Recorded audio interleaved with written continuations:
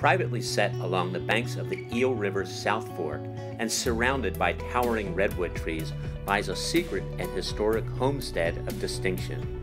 Commissioned by San Francisco hotel magnate Margaret Stewart in the year 1926, Starchitect Julia Morgan, best known for her work on Hearst Castle in San Simeon, was charged with the design and execution of this Benbow, California masterpiece. Ms. Morgan, along with mentor and friend Bernard Maybeck, pioneered the Northern California arts and crafts aesthetic, of which Redwood Grove is a prime example. In fact, Julia Morgan's original design plans are available for viewing on site. The current owners have demonstrated meticulous care and stewardship in the rehabilitation of this architectural jewel, true to the original design, yet harmoniously meshed with an eye towards a contemporary 21st century lifestyle. Redwood Grove rests on more than two and a half acres hidden behind the classic Benbow Inn, which, incidentally, provides a convenient four star dining option and plush lodging for overflow guests.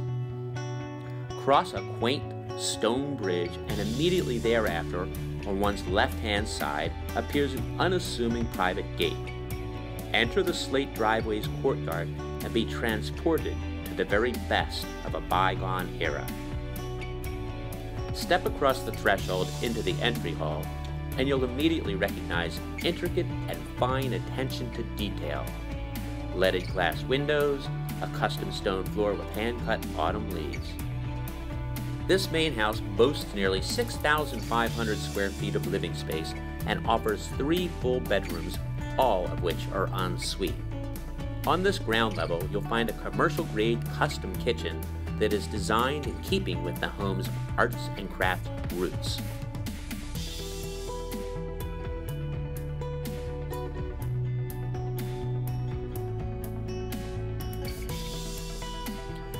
There's a family room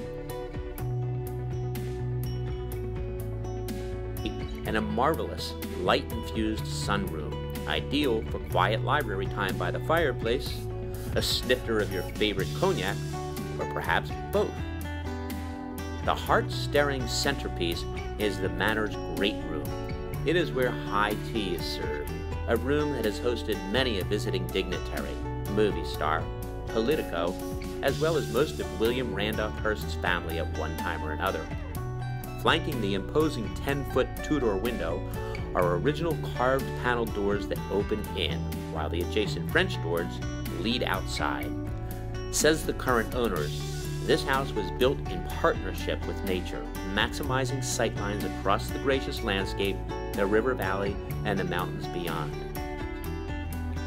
Make your way upstairs where you shall find a warm and inviting sitting area, an indispensable home office complete with high-speed fiber optic cable, and another ensuite guest bedroom prepared to be amazed by the sumptuous master bedroom suite, dominated by a floor to ceiling etched window that looks directly upon the neighboring Eel River. Oh, and before you depart, be sure to check out the basement's enormous sit down wine room, trimmed in dramatic bloodwood and holding upwards of 1,500 bottles. Surrounding the estate are expansive verdant grounds perfectly suited for hosting large-scale outdoor events, celebrations, weddings, charity fundraisers, and the like. There are a number of meandering paths to stroll, access to the river below, a vegetable garden, and a delightful orchard to boot. In addition to the main living quarters are two bonus auxiliary buildings.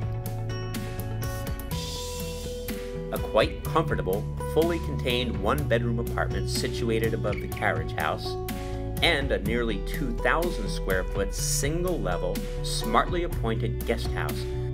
Redwood Grove, Julia Morgan's magnum opus of the arts and crafts movement. From arched Gothic ceilings and old growth redwood trusses decorated with hand carved rosettes, stucco walls, and spectacular Tudor styled windows, this rare gem is a living museum of its architectural style.